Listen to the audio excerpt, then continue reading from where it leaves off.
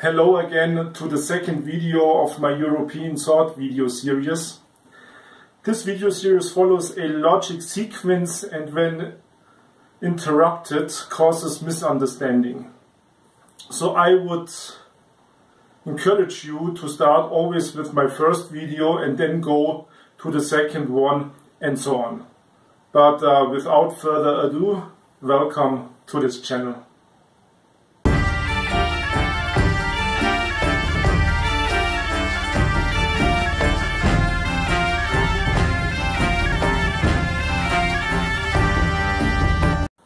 While we spoke mostly about blade properties in a revealing outside fashion, I will cover with this video the inside mechanism of the blade. The usability of a sword blade is not only determined by its point of balance, oscillation nodes, point of percussion or pivot point, and weight distribution and so on, but also by the material it is made of and how the heat treatment was applied. To understand this better, we will have to dive into the molecular level of steel. This becomes excessive as a topic and I will have to oversimplify the model to use like the atom model you were taught in school with a center nucleus and orbiting electrons. As this is too simple and actually a lie, I will also have to lie in order to keep the things as understandable as possible. But if we get the principles out of it, it should suffice for us. The hardness is a very important feature of the blade. I am not so much concerned about the edge hardness, but more about the blade hardness in general see as long as a European blade has a usable hardness, the hardness of the edge will be within acceptable limits automatically. If good blades clash against each other, both swords will take edge damage that's a given. If you like cutting, then a very hard and not so hard blade edge will perform initially the same. The softer blade you probably have to resharpen a bit earlier maybe. I say maybe because with a softer two-edged sword I have two edges to waste. While with one-edged swords I can not change through and will have to use always one side and even if this edge is harder it will probably be wasted earlier than two softer ones. The cutting is most dependent on the distal taper of the blades, the sharpness of it, the angle of impact in relation to the direction of movement of the blade and also the mass inertia. So a harder edge becomes actually a minor factor inside the whole cocktail of factors and will play initially almost no role at all.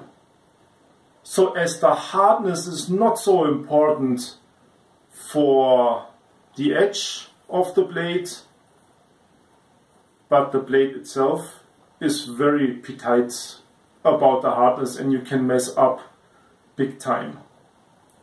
The hardness and heat treatment decides if a blade breaks on impact or if it can flex back to its original form. The heat treatment will decide if your blade bends and stays crooked or if it can swallow the shock by opposing it.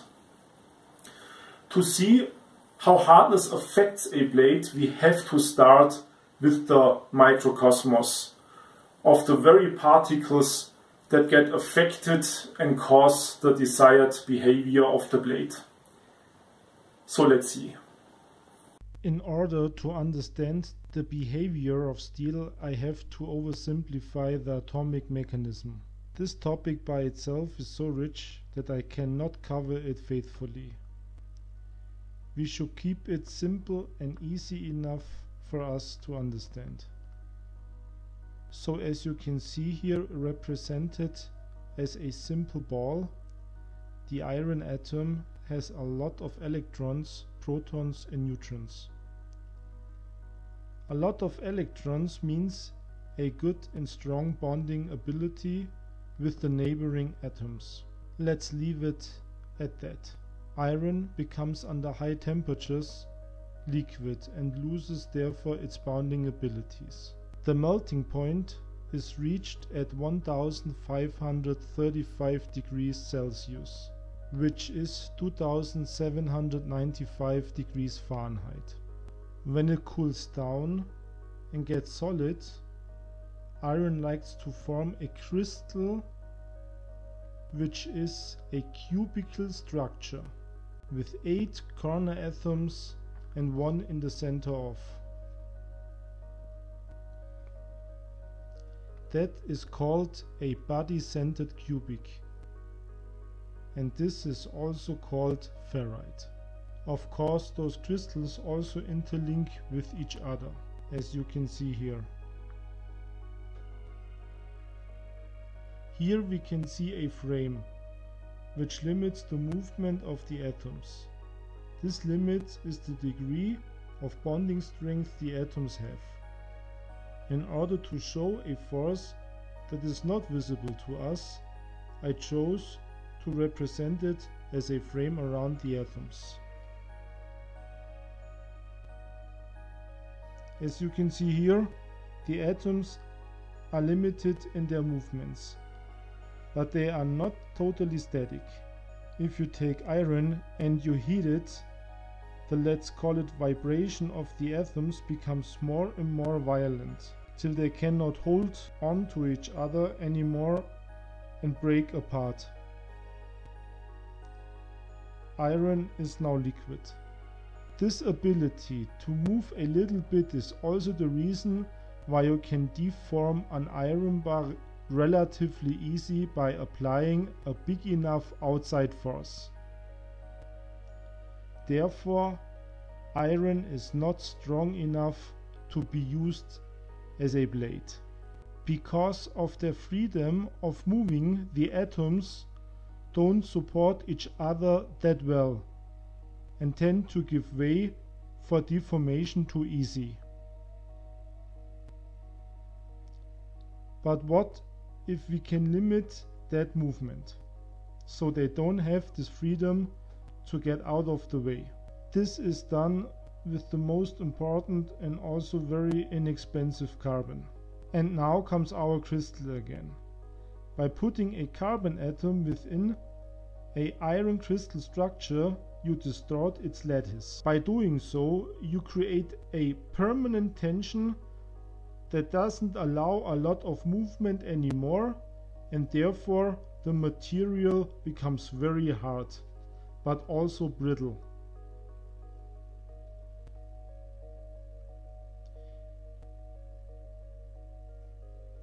The atomic iron lattice gets so distorted that only one carbon atom finds space in a big large iron crystal compound. This distorted lattice and the cause tension thereof makes the material very hard and therefore able to resist penetration better.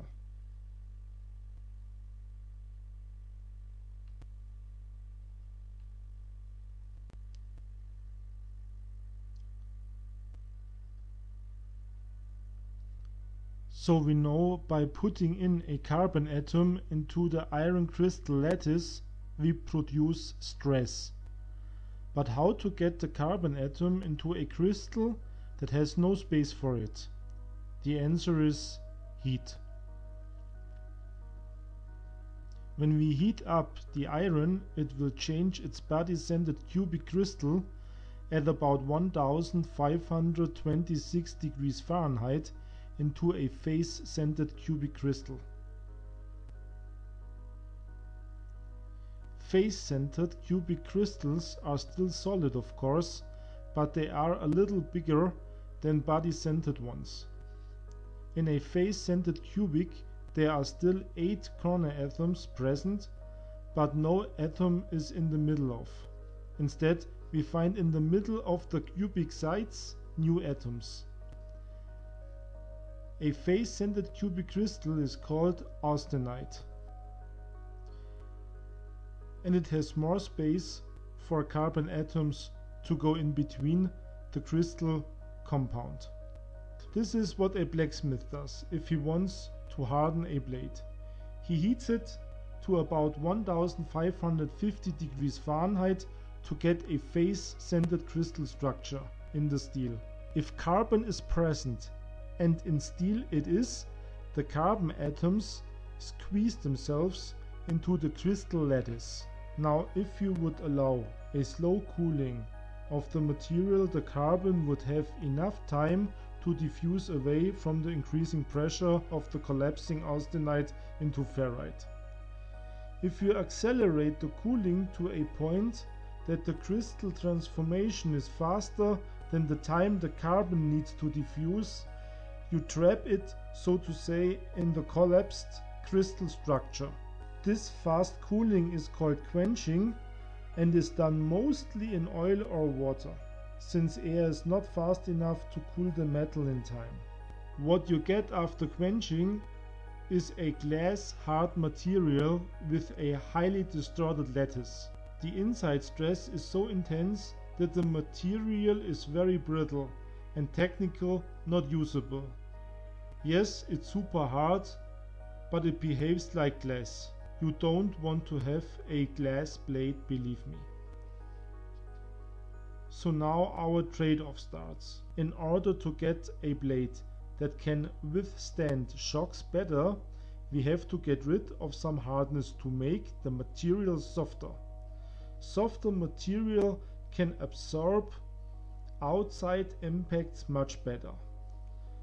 So the material has to be tensed enough not to lose its shape, but it also has to be soft enough not to break at the first contact with another body.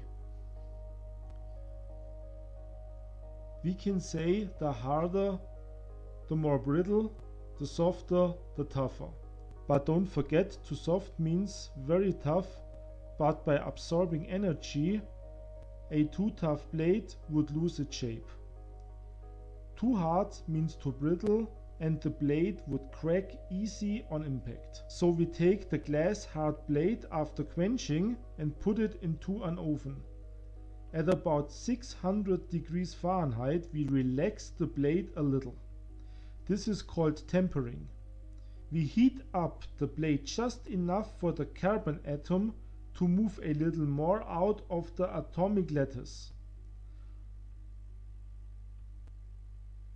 of course not as much as not to distort the crystal anymore. As the tempering heat gets too high, the material gets relaxed again and the carbon atoms show no effect anymore. A new quenching and tempering would be necessary. Another word about tensile strength. Tensile strength is very important in swords. And I have again a little Lego model here. So those Lego pieces are also held together by a rubber band. This rubber band is pretty loose so I can easily take them apart and of course they will go back together because of the rubber band. But as you can see I can make a barely big uh, gap I can take him apart very easy. This would be a hardened blade again and the rubber band is uh, put around several times. So it's very hard to put them apart. And if I really put a lot of force into it, I risk that of course the rubber band will break. This tensile strength in the material gets basically stronger and stronger the harder the material is. Of course there's always a boundary, a threshold where the material gets too hard and gets too brittle and breaks easy. But if the material is tempered the right way, you can reach a unbelievable tensile strength. For example, this sword blade is made out of 5160 spring steel, which is a alloy steel and it has a 5 millimeter um, rod here. This 5 millimeter rod that is of course the same material as the blade is so it's not welded on or something like that but that's a, something we talk about later. This rod has basically uh, the ability to take a hundred kilograms per square millimeter. The cross section is 20 millimeter.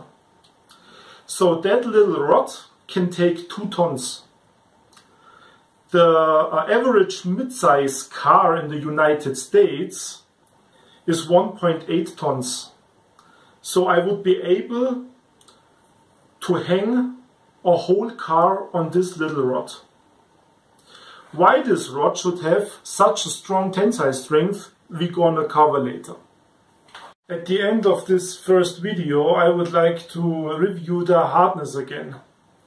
Talking about hardness, if you were hard enough to cope with my strong accent and my limited English, I congratulate you and I'm very impressed uh, with your hardness.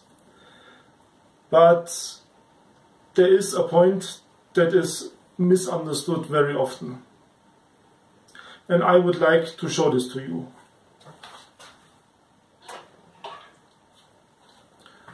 Flexibility and toughness. See, a lot of people kind of confuse flexibility with toughness.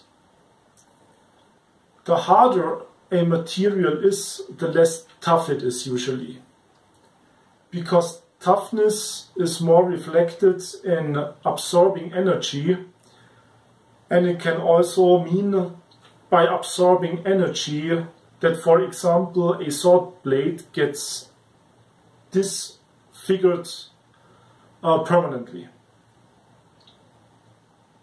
Flexibility on the other hand is the ability to act as a spring and the spring for a lot of people is something soft, but it isn't. And I would like to show it to you with those little Lego Technic uh, models. See, this is a Lego Technic uh, uh, model and you can see that there is a rubber band. But this rubber band is quite loose. So there is not really a lot of tension on the rubber band right now. So when I move um, this uh, rod, you can see that it will not go back to its straight form. Yeah, that would be, for example, let's say a blade. And when I hit the blade, it bends and it will also go back a certain way, but not all the way. So what you have is a crooked blade. That thing is very tough. And I cannot break it, really.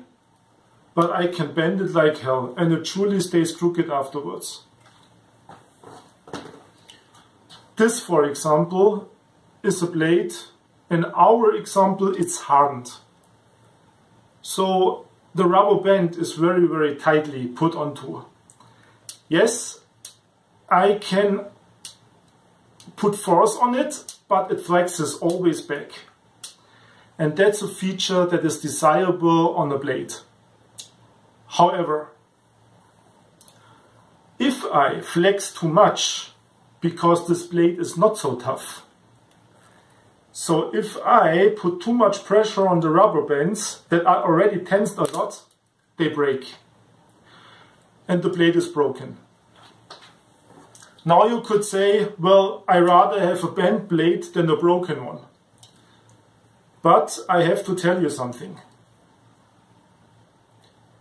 Before this blade that is, let's say, tempered the right way, heat treated the right way, before that blade will break, this blade will lose its shape. So this blade, the hardened one, that has a spring uh, properties, will definitely be, on my opinion, the one that I would prefer. And I have a little video for you that should show what I mean.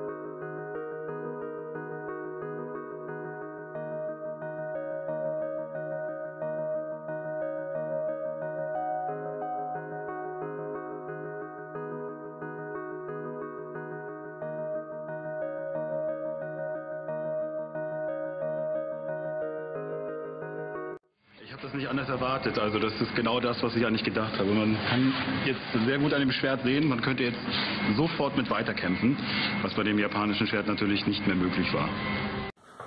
One word about the katana that you have seen in the video before. I don't want to put down katanas. I like the consistent applied features of a katana and the katana and sword history in Japan is also influenced by a lot of other factors. I chose this example because of the apparent difference in behavior. One being through hardened and obviously of high quality and the other having a soft core approach with also a high quality blade. How do I know this? The guy Behind the mask is a highly skilled and known blacksmith from Germany. He is uh, skilled in the use of katanas as well as in the use of HEMA style techniques. He makes katanas even for Japanese customers. He uh, makes European swords of course also. So for me, we have a very rare example of a true expert. This is why I dared to show you this video. What you see here is a rare example of a more scientific approach. Unfortunately, I think the whole documentary is only in German, which is a pity, because with the English-speaking community, this information would find a very fruitful ground.